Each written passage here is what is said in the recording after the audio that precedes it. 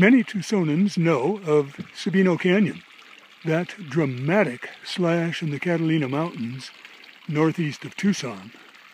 Far fewer, however, are aware of its alter ego, Upper Sabino Canyon, here at an elevation of about 8,000 feet in a lovely woodland of maple trees and enormous Douglas firs.